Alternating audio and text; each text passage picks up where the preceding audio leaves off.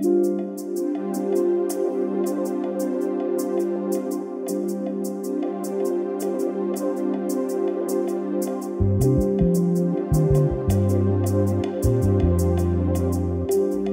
poetry is awesome. Writing poetry is awesome, ma. Stick around to find out more about how to read poetry And how to take your poetry writing from meh to magnificent.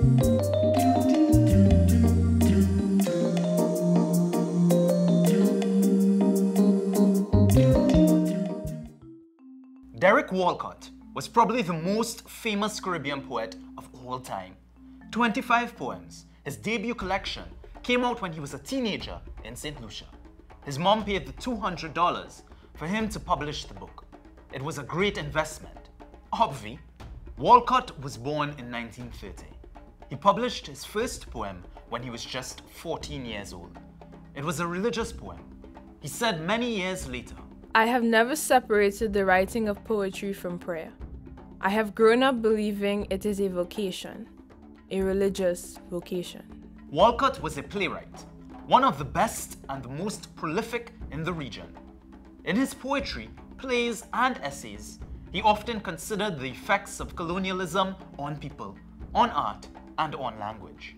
Walcott was a serious artist all his life, painting some of the very things he wrote about in his poetry. His poem, A Lesson for This Sunday, is written kind of like a painting, with vivid colors and bold images. The growing idleness of summer grass with its frail kites of furious butterflies. See? Right away, you get a picture of a bright green lawn with butterflies floating like kites over it. Later in the poem, we see the butterflies have yellow wings. It's idyllic. A man swinging in a hammock while a maid airs out the linens. Super peaceful. Until two little kids start torturing the butterflies, and the maid pulls them away from their science experiment. Remember what Walcott said about religion? The word lesson in the title hints at it. Bible readings are sometimes called lessons. The maid is singing a praise song, a hosanna, and the narrator says the butterfly torture interrupts his Sabbath with sin. Derek Walcott's poetry is packed with images and poetic devices. He won the Nobel Prize and many other honors for his writing. He died in 2017 and got a hero's funeral in his homeland.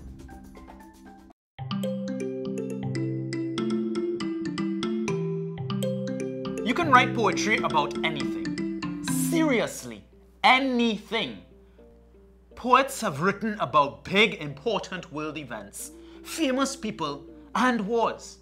But they've also written poems about bugs, shoes, babies, hair, teeth. One of the most famous poems in the world was written about a vase.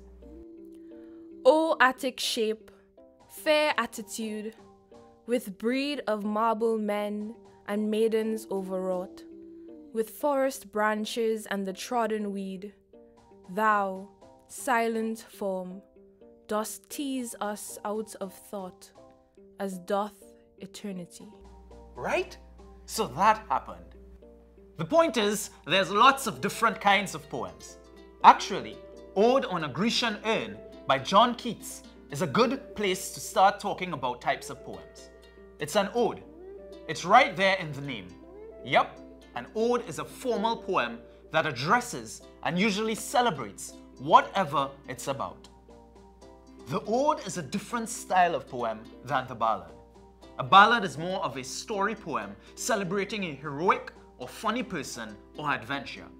And both of them are different from a lament, which is a poem about something sad or tragic, but which doesn't necessarily tell a story. Or an elegy, which is a poem that mourns someone or something which has passed away. Some poems are more about the story they tell, and some are more about the emotions the poet wants the reader to experience.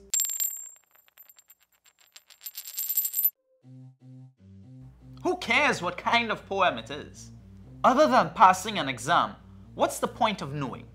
Strictly speaking, recognizing the type of poem you're reading doesn't help you as a reader, because every poem stands alone when you're reading it. But knowing what kind of poem you're reading can help you as a writer. If you want to write good poetry, you have to read a lot of poems. This helps when you're writing because you learn more about what poetry looks like and sounds like. When you read a lot of poems, you learn what kind of poetry you like to read. And that will probably influence the kind of poetry you'll write. Old poems, new poems, short poems, long poems, poems from around the world, poems on different topics. If you know that it's in the category of ballad or lament or whatever, it allows you to compare that poem to other poems in the same category and see how each writer does their magic in that piece. Now, back to our regular programming.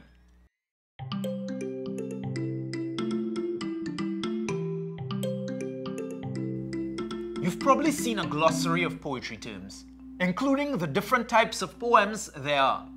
But how do you know what kind of poem you're reading? Hmm. Let's take a look at Dreaming Black Boy by James Berry. I wish my teacher's eyes wouldn't go past me today. Wish he'd know it's okay to hug me when I kick a goal. Wish I myself wouldn't hold back when answer comes. Read the poem yourself. After you've read it a couple of times, ask, how does the poem make me feel? Most readers would probably say it made them feel sad, angry, or frustrated. The narrator, the dreaming black boy from the title, is being ignored and humiliated and pushed to the side. But why? From the imagery and references in the poem, it's because of his race. The narrator has woodchopper ancestors. That's an allusion to an old racist idea Imagine people thought that because so many Africans had been enslaved for hundreds of years in the New World, they were cursed too? Crazy.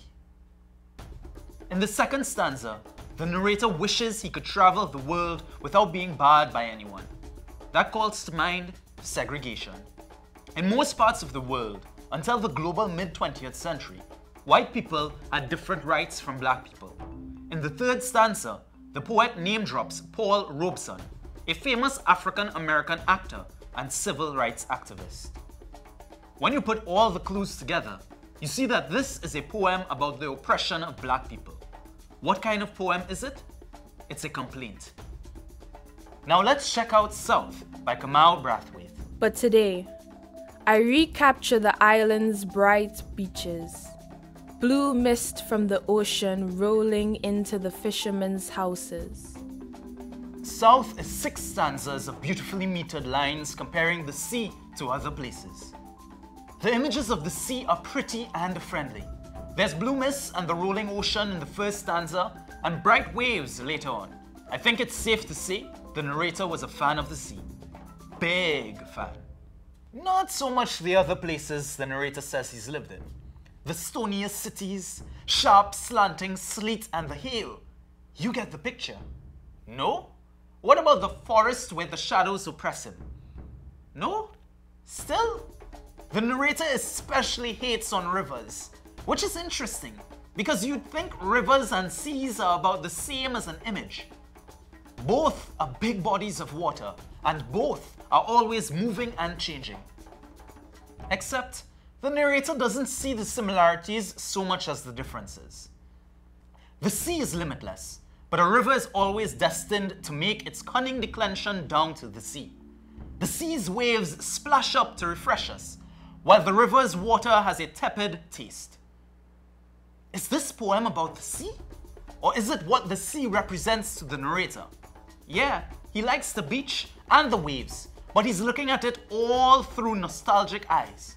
This is the place where he grew up, the place he loves the most.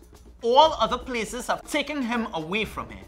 The rivers, especially, seem to remind him of how hard he has to press day after day to achieve his dreams, just as the rivers run day after day to reach the sea. Because the poem celebrates the sea and that idyllic past and has a formal structure, we can say it's an ode.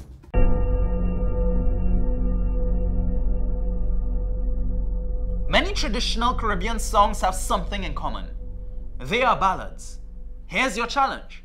Write a folk, calypso, chutney, or reggae ballad about a person or incident. Use strongly rhythmic language and rhyme to make it memorable. And since it's a ballad, it's got to tell a good story. Try it!